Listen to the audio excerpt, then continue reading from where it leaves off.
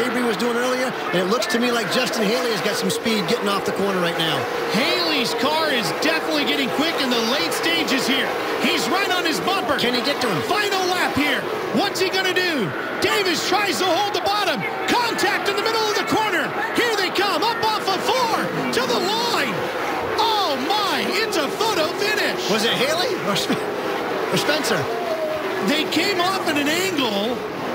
I'm not sure who won, Ralph. It appeared that it might have been Haley with the naked eye, the way they came down the line, but I'm not sure. That looked like the All-Star race here with uh, Chase Elliott and Kyle Larson. What a spectacular finish, and I'm sure they both feel like they won. I'd open for us. Well, let's see if this gives you an idea. There's definite contact there. He gives him a little bump getting into the corner. He's got better speed off the corner. Here he comes. They're dead even at that point. Contact, I mean, they are absolutely dead even. From that angle, it looks like Justin Haley is maybe a little bit ahead, but we're getting that angle that's a crooked angle.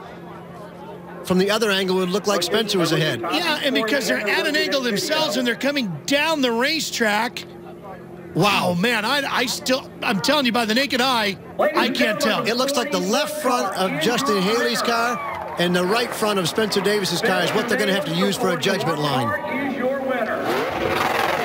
And Spencer Davis, they've just announced it. Spencer Davis, Ralph. Give me that flag, man. I'm still not sure. I know they announced it, but I'm still not sure. Well, there it is. From that angle, that's the way you can tell.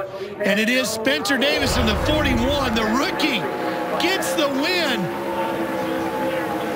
Man, that's incredible. What a tremendous debut for this speedway for the K&N